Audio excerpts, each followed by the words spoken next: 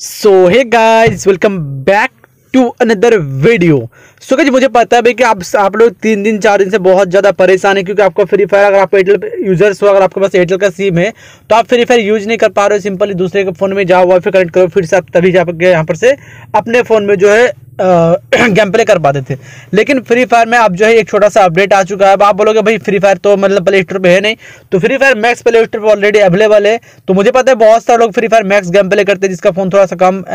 कम RAM का वो लोग यूज़ करते हैं फिर बहुत सारे लोगों नॉर्मली यहाँ पर फ्री फायर ऑफिशियल हम लोग यूज़ करने में अच्छा रहता है इसलिए फ्री फायर ऑफिशियल यूज़ करता है लेकिन अब फ्री फायर जो मैक्स है फ्री फायर मैक्स में एक छोटा सा अपडेट आ चुका है आप सिंपली जाओ प्ले स्टोर पर फ्री फायर मैक्स सर्च करो फ्री फायर मैक्स में आपको अट्ठावन एम का फिर बिरासी एम का छोटा सा अपडेट मिलेगा उसके बाद आपको गेम के अंदर भी हो सकता है, फ्री फायर मैक्स जिसके पास उसको गेम के अंदर अपडेट मिलेगा, वो जाके आप अपडेट कर लो एंड जितने भी एयरटेल सिम यूज़र्स है, उसके फ़ोन में ये फ्री फायर चलना स्टार्ट हो जाएगा। जो इशू आ रहा था भाई नेटवर्क कनेक्शन इधर का,